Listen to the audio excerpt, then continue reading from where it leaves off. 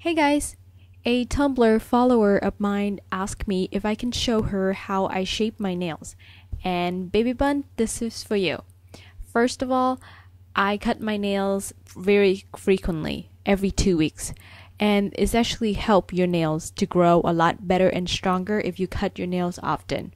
And you can see here that my nails is longer than the tip of my fingers, which is uncomfortable for me to type or wash my face.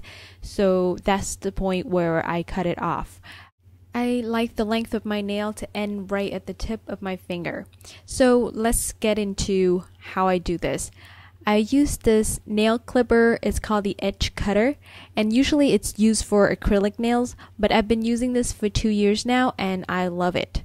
As you can see here with my nails, I have a curve to each nail and the edge cutter just fit right under the curve and clip my nails off without um, breaking it or uh, cracking it. So that's a good thing about it. And plus it gives you a perfect straight cut. Usually if I use a regular nail clipper, I have to clip it twice, like half of the nails at a time.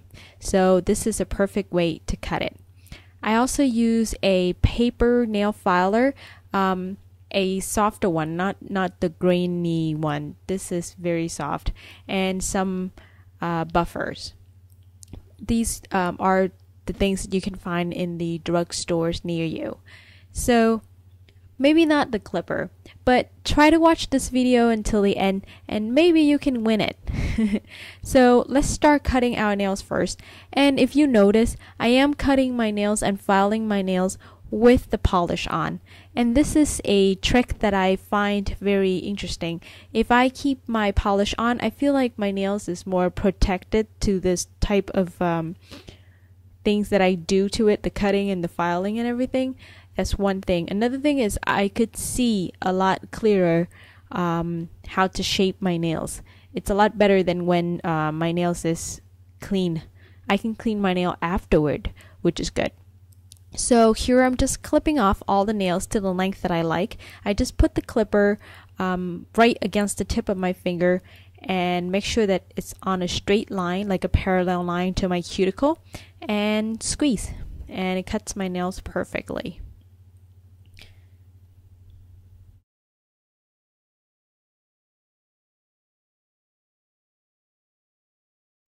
So after I finish clipping all my nails down, I quickly compare between the left hand and the right hand just to make sure that the nails are roughly the same length. And then we move on to the filing part. I'm using this paper filer to file down my nails just a little bit shorter. This is the part where it's actually shaping more than taking off the length. I just um, used my cuticle as the guide. Um, so the tip of my nail should be a perfect parallel line to my cuticle. Um, you know that with our hands, depending on how you look at it, the nails could seem um, crooked. So I'm just using this as a guide, the cuticle line as the guide. So that way, sometimes it's still crooked, but but I feel better that way, I guess.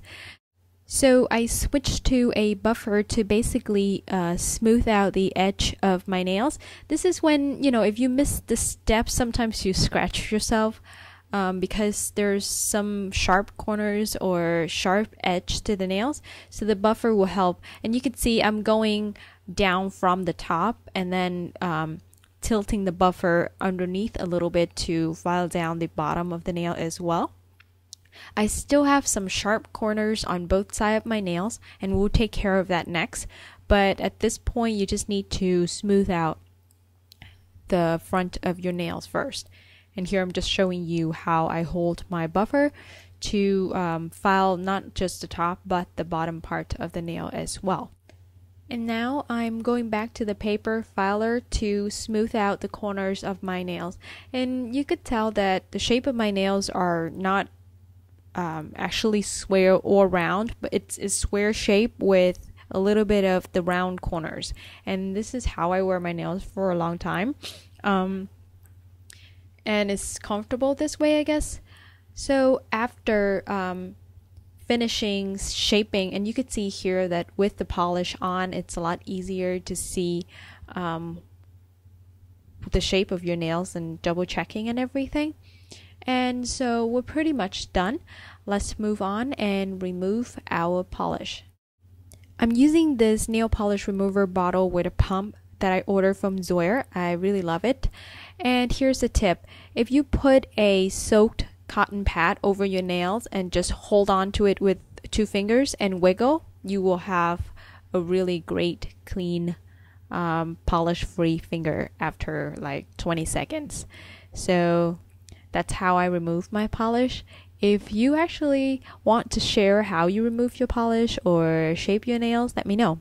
So I went and washed my hands with soap and water. And I just want to show you this is the brush that I use to brush off all the dust and, and everything that caused by the filing and cutting. And now I have clean fingers with new shapes that are comfortable. so usually the next thing that I do is to paint on one layer of the nail straightener. This one has green tea and bamboo in it. Um, it makes my nails feel a lot more uh, protected.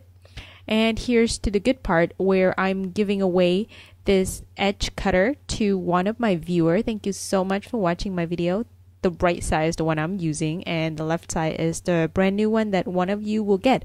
I will put the rules on how to win this cutter in the description box. Thank you so much for watching and I will see you soon. Bye.